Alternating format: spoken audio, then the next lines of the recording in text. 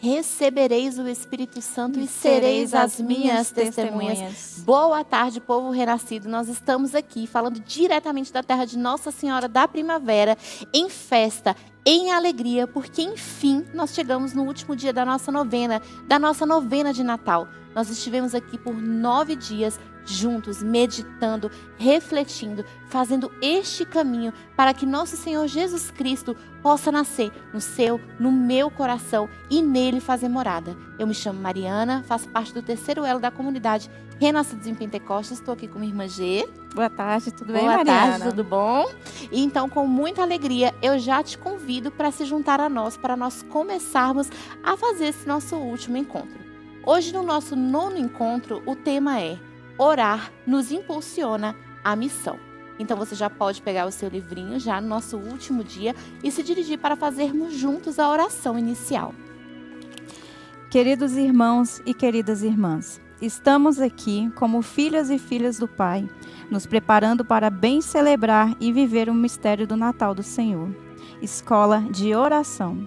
O mundo precisa do Natal de Jesus. Como igreja, comunidade de irmãos e irmãs em Cristo iniciamos o nosso encontro. Em nome do Pai, do Filho do e do Espírito, Espírito Santo. Amém. Vem, ó Deus da vida, vem nos ajudar. Vem, não demores mais, vem nos libertar. De Deus Pai, o Filho veio nos salvar. Com grande alegria, vamos lhe encontrar. A sua chegada trouxe a salvação. A igreja vive nele sua encarnação. Glória ao Pai, e ao Filho, e ao Santo Espírito. Glória à Trindade Santa, glória ao Deus bendito. Aleluia, irmãos, venham com fervor. Neste advento, a Deus o nosso louvor. O sinal admirável do presépio representa o acontecimento da natividade de Jesus. Mostrar o presépio é o mesmo que anunciar com simplicidade e alegria o mistério da encarnação filho, do Filho de Deus. O presépio é como um evangelho vivo, transbordando das páginas da Sagrada Escritura. Ao mesmo tempo que contemplamos a representação do Natal, somos convidados a nos colocar espiritualmente a caminho, atraídos pela humildade daquele que se fez homem, a fim de se encontrar com todo ser humano e a descobrir que Ele nos ama muito e a aprender com esta singela cena como orar verdadeiramente. Ó Deus Emanuel, nós vos contemplamos essa sublime humildade. Enchei os nossos corações com o espírito de santa piedade, para que, da ternura do presépio, possamos aprender a orar e a cultivar uma vida de espiritualidade. Amém. Maria, mulher do advento, ensinar-nos a orar bem. Ave Maria, cheia de graça, o Senhor é convosco. Bendita sois vós entre as mulheres, e bendito é o fruto do vosso ventre, Jesus. Santa Maria, Mãe de Deus, rogai por nós, pecadores, agora e na hora de nossa morte. Amém. Amados irmãos e amadas irmãs, culminamos hoje o caminho da novena de Natal que buscou preparar nosso coração e a nossa vida para celebrar o mistério da encarnação do Senhor, expressão do amor de Deus para cada um de nós. Que estes dias tenham sido para nós uma escola de oração e de, de intimidade aberta com o Senhor. Dando, Dando início ao belo caminho que realizaremos durante todo o ano de 2024, dedicado à oração, a vida cristã, porém, não termina na oração. Pelo contrário, a oração nos impulsiona à missão permanente. Orar nos impulsiona à missão. O Verbo encarnado nos revela que nosso Deus é missionário. O Pai envia, o Filho é enviado, o Espírito Santo é o dom do Pai e do Filho, o presente e o protagonista da missão. A missão é a identidade de Deus, manifestação da Trindade. O Deus amor, por sua própria natureza, vive sempre em saída de si mesmo, voltado para o outro. Por isso, toda a missão da igreja, toda a missão que começa em Deus, é impulsionada pela oração. Orar nos impulsiona à missão. Agora, vamos finalizar a composição do nosso presépio, depositando os personagens que faltam: os pobres, pastores de ovelhas. No presépio, os pobres e os simples lembram-nos de que Deus se faz homem para aqueles que mais sentem a necessidade de amor e pedem a sua proximidade. Jesus nasceu pobre, levou uma vida simples para nos ensinar a identificar e a viver do essencial. Presépio surge clara a mensagem de que não podemos nos deixar iludir pela riqueza e por tantas propostas passageiras de felicidade. O presépio é lugar dos pequeninos e a partir de lá os pequeninos partem em missão para dar a conhecer a boa notícia do Emanuel. Agora nesse momento, além de contemplar o presépio que está atrás de nós, nós te convidamos a tomar a sua palavra, porque nós vamos agora anunciá-la e nós vamos ler Lucas 2, de 8 a 20. Lucas 2, de 8 a 20. Havia nos arredores uns pastores que vigiavam e guardavam seu rebanho nos campos durante as vigílias da noite. Um anjo do Senhor apareceu-lhes e a glória do Senhor refugiou ao redor deles, e tiveram grande temor. O anjo disse-lhes: Não temais, eis que vos anuncio uma boa nova, que será alegria para todo o povo. Hoje vos nasceu na cidade de Davi um Salvador, que é o Cristo Senhor. Isto vos servirá de sinal. Achareis um recém-nascido envolto em faixas e posto numa manjedoura. E subitamente ao anjo se juntou uma multidão do exército celeste, que louvava a Deus e dizia: Glória a Deus no mais alto dos céus, e na terra paz aos homens, objeto da benevolência. Depois que os anjos os deixaram e voltaram para o céu, falaram os pastores uns aos outros: Vamos até Belém e vejamos o que se realizou e o que o Senhor nos manifestou. Foram com grande pressa e acharam Maria e José e o menino deitado na manjedoura. Vendo, contaram o que lhes havia dito a respeito deste menino. Todos os que os ouviam admiravam-se das coisas que lhes contavam os pastores. Maria conservava todas estas palavras, meditando-as no seu coração. Voltaram os pastores, glorificando e louvando a Deus por tudo o que tinham ouvido e visto, e que estavam de acordo com o que lhes fora dito. Palavra do Senhor. Graças a Deus. E na partilha agora, nós também te convidamos a partilhar conosco tudo aquilo que nós já lemos, tudo aquilo que nós já meditamos. A primeira pergunta é: as pessoas que ouvem os pastores ficam admiradas. Eles louvam e glorificam a Deus pela experiência que tiveram. Como os pastores nos ensinam a viver a vocação missionária? Como ele nos ensina, Gê? A estar atento à, à, à palavra, né? Como eles ouviram o anjo, então que nós também estejamos atentos aos sinais que são passados a nós através da, da, da pregação do padre nas missas nos domingos, é, através da nossa, da nossa vida vocacional também. É, e através das nossas missões, porque quando a gente está em missão, a gente sempre aprende alguma coisa. Nós que estamos em, em várias missões, toda missão a gente tem um aprendizado. Então, eu acho que é isso que a gente tem que é, carregar, carregar né? é, para nós como aprendizado. É Exatamente. Isso. Eu acho que mais que isso é viver a missão. Viver inteiramente a missão, estar atento aos sinais, como a G falou, e viver, se entregar. Porque os pastores, eles poderiam muito bem ter escutado e seguido seu caminho, Sim. não ter feito, não ter sido obedientes. E pelo contrário, eles tiveram um ouvido atento e eles foram obedientes e viveram aquela missão. E receberam a graça de encontrar quem? O menino Jesus. Jesus. Na segunda pergunta, está dizendo assim: aquilo que experimentam na oração, na comunhão com Jesus, saio para anunciar aos outros ou guardo apenas para mim? Ah, é como eu te falei, né? Às vezes na, nas pregações, na, na, na, homilia mesmo, nas missas de domingo, é, o padre ele sempre passa uma mensagem para as pessoas, né? Então, que não possamos guardar para nós, que possamos sair da missa, possamos passar essa, essa, essa Mensagem. Essa, essa mensagem, essa palavra para nossas famílias, para os nossos amigos, né? Pro, até no nosso, na nossa vida pessoal, no nosso trabalho. É, eu acho que a partilha ela tem que ser, como diz já a palavra, ela tem que ser compartilhada com o próximo. É verdade. Vamos para o fato da vida, G. Adalberto era um senhor orante. Tinha prazer em passar horas diante do Santíssimo Sacramento, rezando o terço ou fazendo levictio divina. Não se sentia, contudo, chamado a sair da capela para ir ao encontro das pessoas.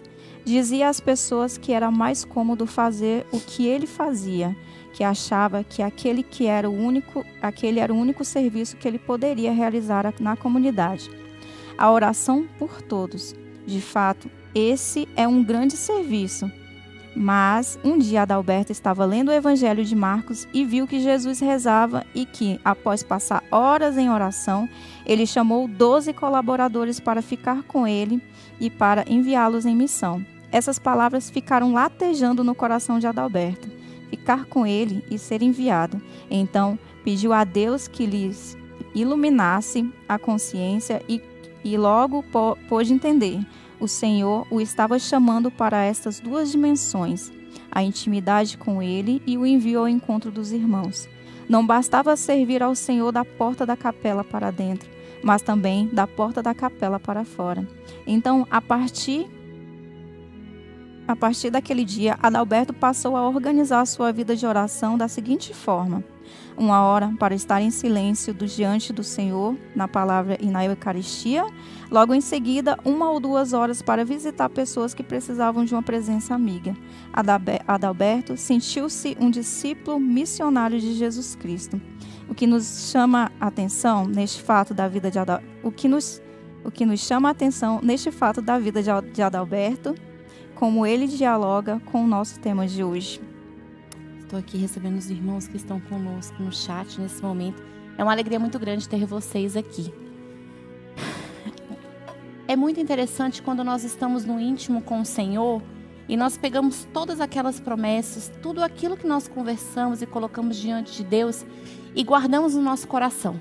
Mas como nós vamos evangelizar, como nós vamos divulgar, trazer outras pessoas a conhecer esse Deus vivo que nós conhecemos, a viver nesse carisma, por exemplo, que nós vivemos aqui na nossa comunidade, ou então viver essa vida cristã que nós estamos inseridos, se nós não anunciarmos. Se nós não tivermos a caridade de visitar pessoas que precisam receber essa palavra se nós não tivermos o discernimento de olhar para um irmão necessitado e estender a mão com o Evangelho.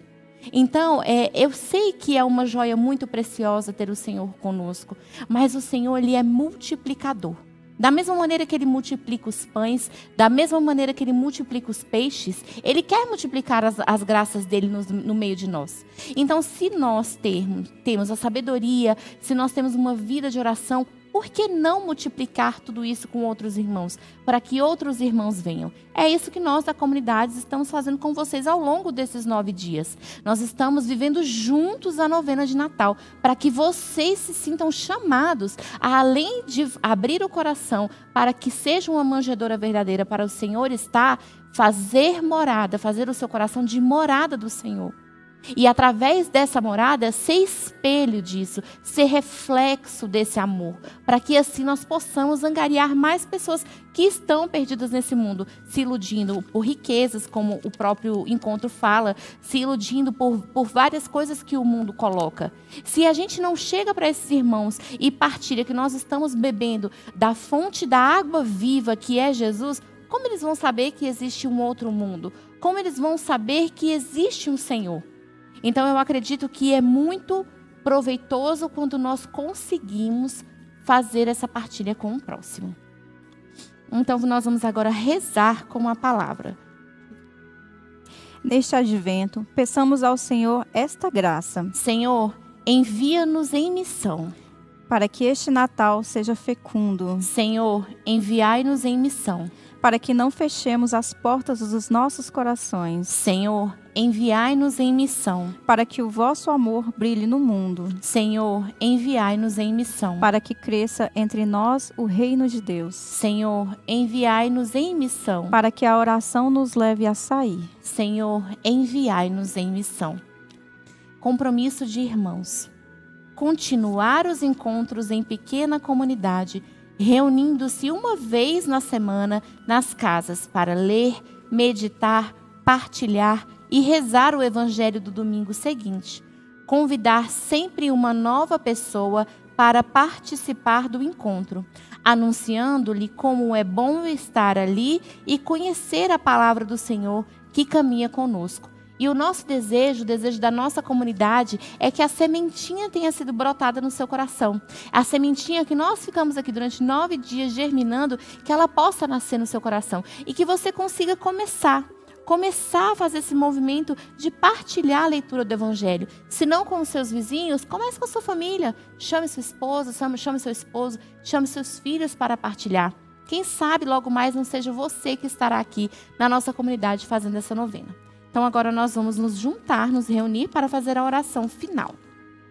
Queridos irmãos e queridas irmãs, neste Natal, contemplando o presépio da, na escola de São Francisco de Assis, abramos o coração a esta gra graça simples.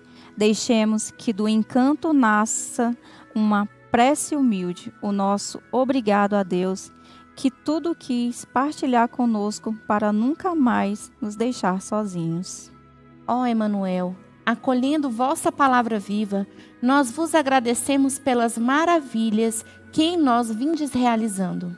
Vós, que vos aproximais de nós como amigo e irmão, ensinai-nos a esperar em Deus e a nos abrir às suas promessas, à ação do Espírito. Nós vos buscamos, Senhor, queremos acolher-vos na nossa história mais uma vez, para que, renovando a experiência do encontro pessoal convosco, possamos testemunhar o vosso amor ao mundo pelas obras e pelas palavras. Amém. Amém. Pai nosso que, que estais no céu, santificado seja o vosso nome. Venha a nós o vosso reino. Seja feita a vossa vontade, assim na terra como no céu. O pão nosso de cada dia nos dai hoje. Perdoai as nossas ofensas assim como nós perdoamos a quem nos tem ofendido. E não nos deixeis cair em tentação, mas livrai-nos do mal. Amém. Ave Maria, cheia de graça, o Senhor é convosco. Bendita sois vós entre as mulheres, bendito é o fruto do vosso ventre, Jesus. Santa Maria, Mãe de Deus, rogai por nós, pecadores, agora e na hora de nossa morte. Amém. Glória ao Pai, ao Filho e ao Espírito Santo como era no princípio, agora e sempre. Amém. Nós continuaremos reunidos em nome do Pai, do Filho, do Espírito Santo. Amém. Amém. Hoje é domingo, hoje é véspera de Natal e nós da comunidade Renascidos em Pentecostes temos um convite especialíssimo para fazer para vocês. Nossa missa vespertina do Natal do Senhor vai começar hoje às 20 horas. Então, se você está em casa e ainda não sabe onde passar, onde comemorar, onde participar dessa missa, dessa missa de véspera, vem para cá para nossa comunidade, porque daqui a pouquinho, às 8 horas, nós iremos participar todos juntos da missa de véspera. Amanhã nós também teremos missa aqui. A Santa Missa do Natal do Senhor vai ser celebrada a partir das 19 horas e você e a sua família são os nossos convidados. É com muita alegria que nós vamos nos despedir agora. Um feliz Natal para você, para toda a sua família. Não deixe de fazer brotar no seu coração essa semente que nós lançamos a você do Natal do Senhor. Até mais. Fiquem com Deus e até a próxima. Tchau, tchau.